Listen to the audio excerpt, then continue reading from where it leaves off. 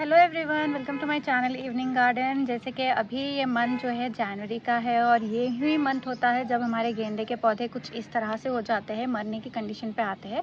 तो आज मैं आप लोग को बताऊँगी कि इन पौधों से लिए हुए फ्लावर से हम बीन्स लेंगे और उससे हम लोग पौधे को फिर से ग्रो करेंगे। तो आज हम इसी बारे में बात करेंगे। तो मैं आपको पहले ही बता दूँ कि मैं फ्लावर्स पे से पौध पे से सीड्स कलेक्ट करते हुए आपको बताना भूल गई थी, लेकिन मैंने बहुत सारे सीड्स कलेक्ट करके रखे हैं।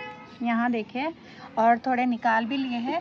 अभी ये कुछ नहीं है, यहाँ अंदर देखे आप, मैंने बहुत सारे कलेक्ट करके रखे हैं गेंदे के सीड्स अभी हम क्या करेंगे, ये जो होता है ना, इसमें से मैं आपको सीड्स निकालना बताती हूँ। मम्मा हेल्प मी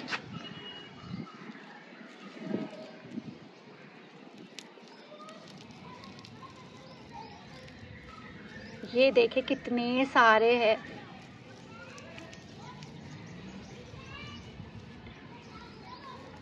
ये जो ऊपर की पेटल्स है, मम्मा वो रिमूव कर दे रहे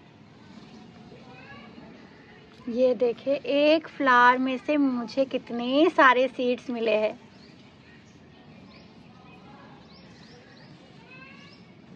अभी मैं आपको पॉटिंग मिक्स के बारे में बताती हूँ। इसमें ज़्यादा कुछ नहीं लिया है। मैंने पॉटिंग मिक्स में यहाँ पर गिर गए थोड़े ये वाली पॉटिंग मिक्स बताती हूँ। इसमें कुछ भी ज़्यादा ख़ास नहीं है। बस गार्डन सॉइल है। साथ में नीम खली और थोड़ा सा साफ़ मिक्स किया हुआ है। ज़्यादा कुछ नहीं लिया है। और साथ ही में पानी में जो है मैंने साफ़ मिलाकर रखा है। वाटरिंग के टाइम पे यही वाटर दूँगी मैं उनको। अभी ये देखें।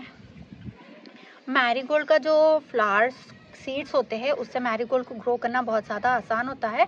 ज़्यादा परेशानी नहीं होती है जर्मिनेशन ना हो, ऐसी मुसीबत नहीं आती है। बहुत ज़्यादा प्लांट्स बना सकते हो आप, सिर्फ़ एक फ्लावर से।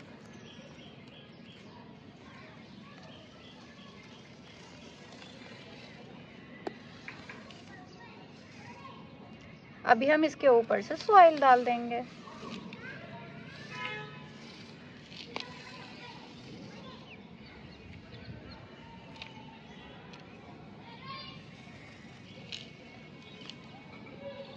हल्की सी है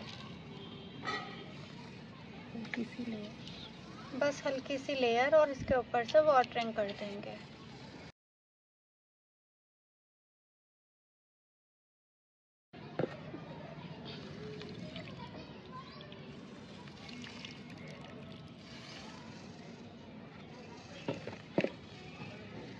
तो अभी हमने सीड्स को लगा भी दिया है और साथ में वाटरिंग भी कर ली है।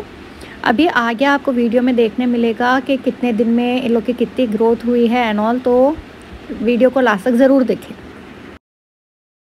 तो अभी हमने जो मैरीगोल्ड के सीड्स लगाई है, ये उनकी अपडेट है। मैंने सिक्स जनवरी को लगाया था और आज सिक्सटीन जनवरी है तो बराबर दस दिन के बाद का अपडेट है ये।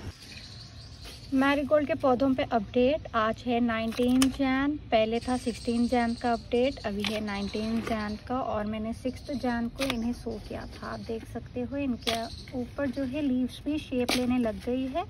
मैरीगोल्ड के पौधों का अपडेट। आज है ट्वेंटी सिक्स और ये रही मेरे मैरीगोल्ड के पौधों की कंडीशन मैरीगोल्ड अपडेट आज है जनवरी की थर्टी। मैरीगोल्ड प्लांट अपडेट आज है डेट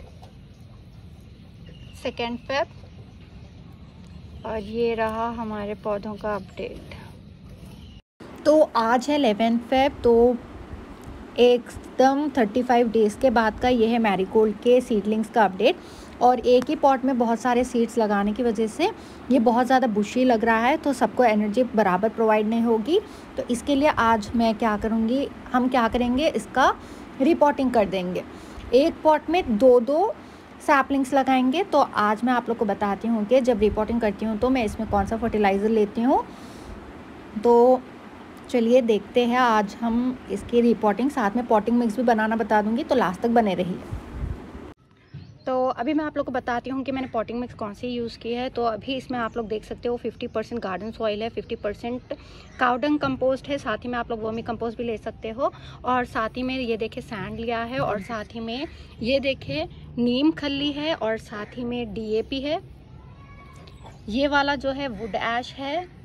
साथ ही में साफ़ लिया है और ये है एप्सम सॉल्ट तो अभी हम इसको बहुत अच्छी तरह से मिक्स कर लेंगे, उसके बाद में इसी में जो है हमारे मैरीगोल्ड के प्लांट्स जो है उसे ट्रांसफ़र करेंगे। हमने हमारी पॉटिंग मिक्स को अच्छी तरह से मिक्स कर लिया है और अभी मैंने ये वाले पॉट में नीचे की तरफ़ जो है लीव्स रखे हैं और उसके ऊपर से जो है ये सारी वाली पॉटिंग मिक्स मैं डाल दूँगी।